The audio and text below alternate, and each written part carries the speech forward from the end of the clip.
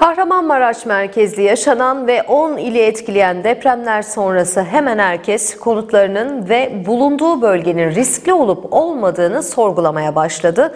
Birinci ve ikinci derece deprem bölgesi içinde bulunan Antalya'da yaşayanlara Mimarlar Odası'ndan uyarı geldi. Başkan Hasan Çerçiler Antalya'da 1999 öncesi yapılan binaların şu anki deprem yükünü kaldırabilecek düzeyde olmadığına dikkat çekti. Çerçiler bu binaların Kahramanmaraş'taki gibi tabutlara dönüşmemesi için tespit edilerek yıkılması gerektiğini söyledi. Kahramanmaraş merkezli 7.7 ve 7.6 şiddetindeki depremler 10 ili yerle bir etti. Beton yığınlarının binlerce insana mezar olduğu deprem milyonları yerinden yurdundan uzaklaştırdı. Birinci ve ikinci derece deprem bölgesi içinde bulunan Antalya'da vatandaşlar konutlarının ve bulunduğu bölgenin riskli olup olmadığını sorgulamaya başladı.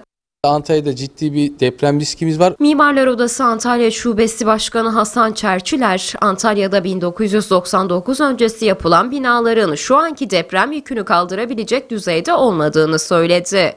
Mevcut yapı stoklarımızın 99 deprem yönetmeliğinden önce var olan kısım çok ciddi bir alan kaplıyor.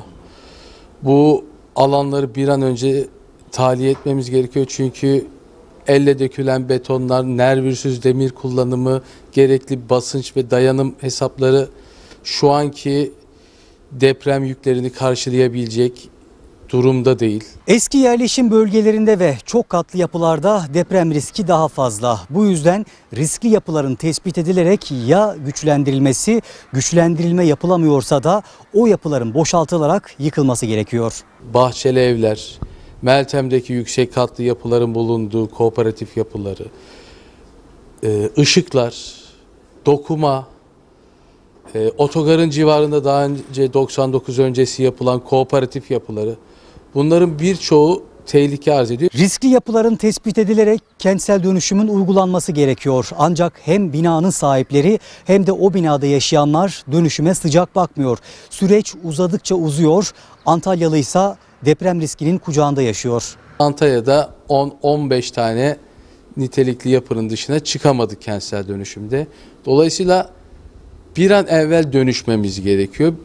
Dönüşmüyorsak da mevcut yapılarımızı sağlıklaştırmamız gerekiyor.